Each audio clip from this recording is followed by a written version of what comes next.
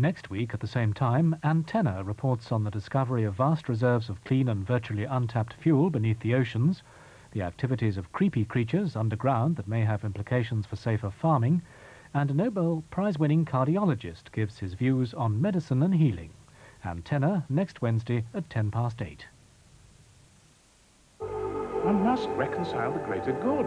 One must reconcile the greater good. One must reconcile.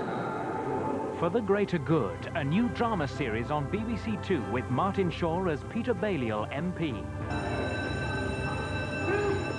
If we relied on the tabloid press to determine policy, we'd still be picking fleas off each other. These are not wicked people. They genuinely believe that what they're doing is for the greater good.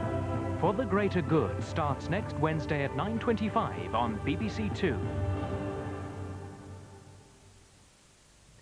The 9 o'clock news is on BBC One now, and then at 9.30, QED marks No Smoking Day with a revealing film interweaving the personal stories of lifelong smokers with stunning pictures taken inside the body. Now on BBC Two, Antony Sher, Patrick Shai and Rudi Davies star in tonight's screenplay by Alan Cubitt. It's a powerful drama about a black South African's desperate struggle for political asylum in Britain and includes some strong language. The Land of Dreams.